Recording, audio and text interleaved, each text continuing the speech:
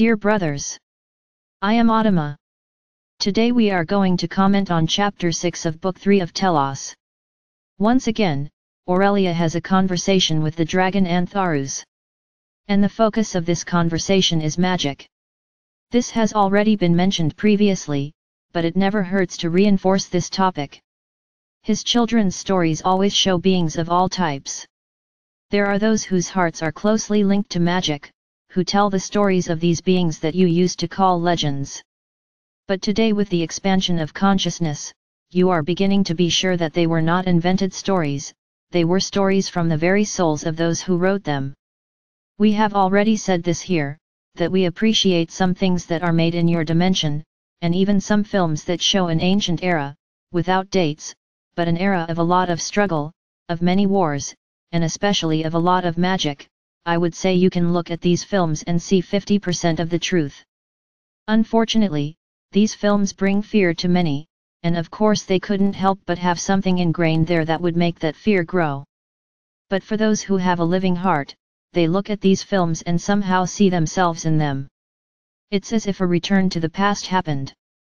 Most of those who are here listening to me lived in the Dark Ages, where black magic reigned.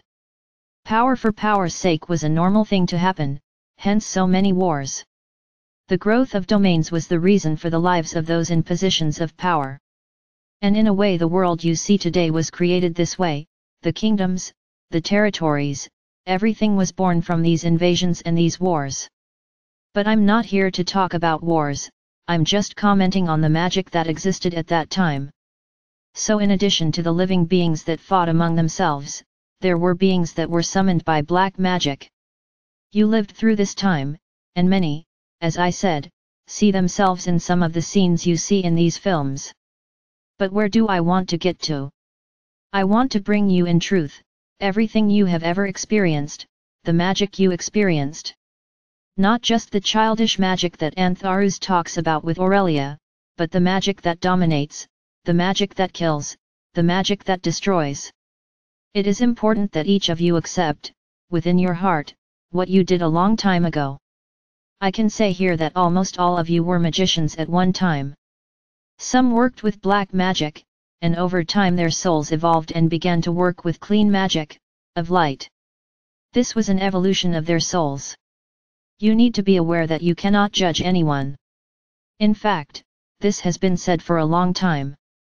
You condemn the brothers of your world, but I can tell you that many have done much worse things. So the time has come to look at magic, and understand that it does give power, but it needs to be used with love, with a lot of love. So what I want to bring to you is not to say that there are fairies, elves, unicorns, you already know that, what I want to bring you today is that you have magic in your hearts. You lived it. You worked with her. So the time has come for you to resume everything you did back there, everything you learned back then. Their souls know the formulas, the paths, the correct words, but to act in clean magic, in the magic of light. As Antharus said, dragons are very allies in this sense, because they work with the four elements. And you can work too, you just need to believe in it, you just need to believe that you have this power in your hands. Start using the magic you have within. Find the way to get to it.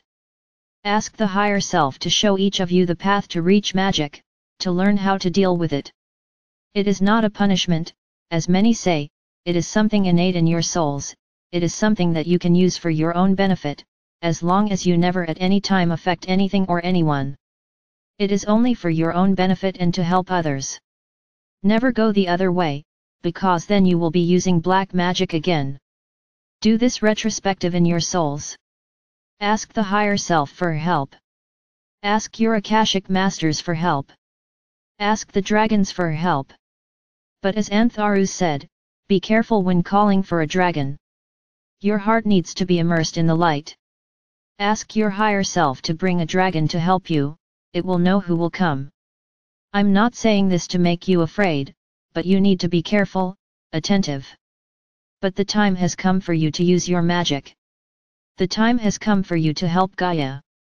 The time has come for you to help your brothers. You have this awareness. You were wizards once.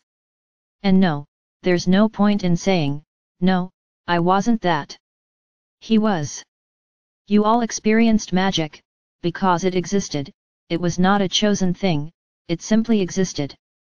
So use it for your own benefit, to help you on this journey, but always with requests from the heart, always with requests that make progress. You can ask for whatever you want, but never forget, every action always has a reaction. Can you ask for wealth? They can, as long as they use this wealth properly, not just out of greed. So my brothers, start dealing with your own magic. Start acting through magic, and you will see how your path will become a little more childish, a little lighter, because when you activate magic, all the beings that you think or once thought were legends, will come to meet them to help them reborn that inner child that played with them without any type of fear or any other negative feeling. Let yourself be carried away by the magic. But never forget, every action always has a reaction.